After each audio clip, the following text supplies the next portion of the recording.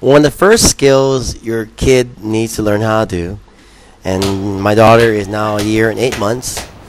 I'm trying to get her to track a ball. Track a ball, movement, these are things you can work with a child while they're really young. I mean, if they're really not agile or good at this, you can use a balloon.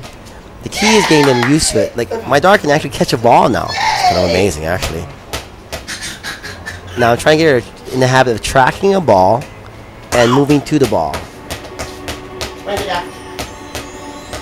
And we try to make it like a little game where I'm dribbling and she tries to steal the ball from me. So she has to move to the ball. But she is a year and eight months.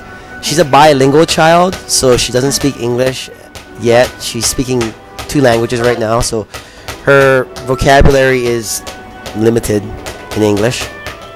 But the key is make her unafraid of the ball, one. Make her track the ball. Try to get her to throw the ball.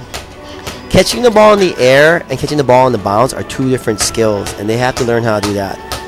So we're just working on, we just play with the ball every night.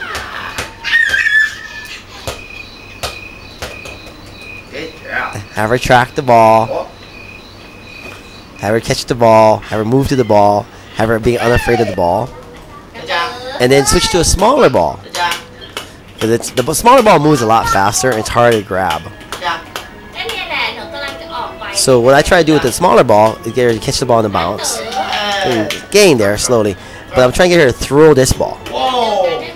And she can throw it, but I don't know if she can aim yet. I want her to throw with her left hand, but she's throwing with her right. I'll take that. And that's what you gotta do when you're dealing with the young kids.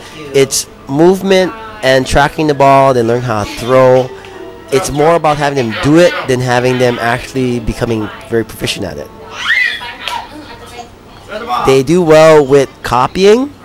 So if you mimic, if you show them how to do it, they'll do it for you. And you want to work on these things in a fun, progressive way. We do like maybe, I don't know, 15, 20 minutes a week. Most, I don't know. Maybe a little bit every day. It varies. It's not work, it's just fun time.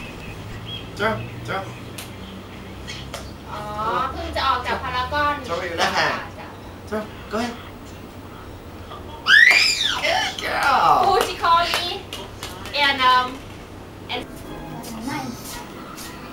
Throw. Yeah!